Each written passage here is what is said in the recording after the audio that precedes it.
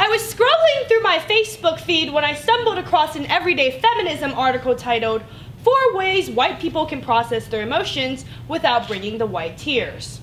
Written by black women, the article uses the words person of color and black interchangeably, and I'm not sure if the author was aware when she wrote this, but I too am a person of color. Despite my mother's best efforts to keep me out of the sun, I am not white, and when the only color you see is the shade of drying ink on my poems, you are committing me to erasure. The same people who say racism against white people isn't possible never said anything about erasing the existence of other minorities, so you white us out of this story. We are footnotes, afterthought. The kid on the playground your mother forces you to play with.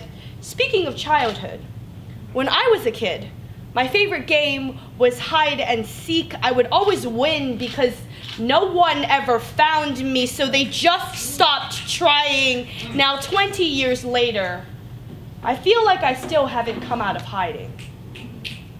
According to Wikipedia, because Asian Americans total about 5.6% of the entire US population, diversity within the group is often overlooked by media treatment.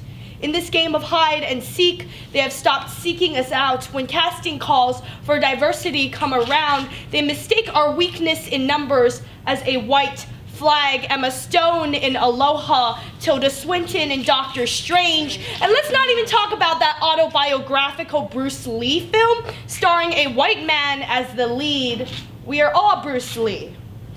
And it's hard to rejoice over small victories like being a motherfucking badass when in the best of times, no one cares about your legacy. To all the people of color who think person of color means black, they never wanted us either. Like you, the flesh-colored crayons don't capture the range of our skin tones, yet despite our shared suffering, we are too light and model enough to be a real minority, so we stand third party in other, an invisible observer in these black and white pictures. Perhaps the reason I write is to shade myself into existence, draw myself into immortality. When I was a kid, my favorite drawing utensil was color pencils. Their name is deceptive. You think color pencils must be just like regular pencils, only colorful, but color pencils don't erase. No matter how hard you scrub their pigment into oblivion's color pencils do not erase. I do not erase. And to all the people of color who think person of color means black, I am a person of color, and I will not be erased.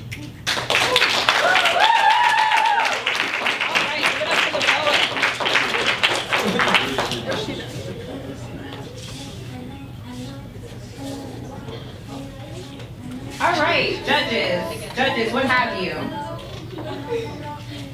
I know that one, you took a little time to process it. I see one.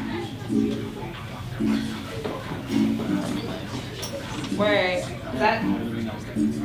All right, so from a low to high, we have an eight.